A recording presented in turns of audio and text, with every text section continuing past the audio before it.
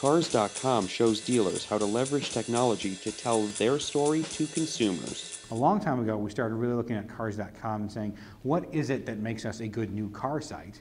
And so last year, we started rolling out some features, again, very much designed around how do we help the dealership tell their story? I think the biggest thing that we did is we launched a dealer profile page a year ago. So uh, dealers on Cars.com now get, in essence, their own portion of the site carved out where they can, again, tell their story. So everything from photos of the dealership to their hours to mm -hmm. a mm-hmm. paragraph where they can literally tell their story to the ability to upload a video. Again, the idea being we want to get people there on cars.com, engage them in the dealership, and give them content they need.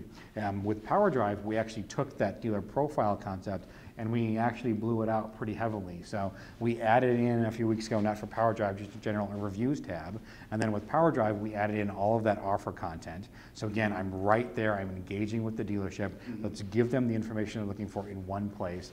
And then we also built out a full tab of, of videos, in mm-hmm. essence, a model level library for a shopper the thought being, we know, again, if you're looking for a new car, there is that you want to fall in love a little bit with the vehicle, but you also really want to understand the dealership. So when we've got them on the dealer's page, let's show them that great model content. Let's show them, here are all the features of the vehicle that you're looking at, and then let's pull in information specific to the dealership, like the number of cars on the lot that are very similar. So again, let's get them to a place where they're going to see that they're going to have a great experience with that dealership, and let's provide as much information as we can in one location.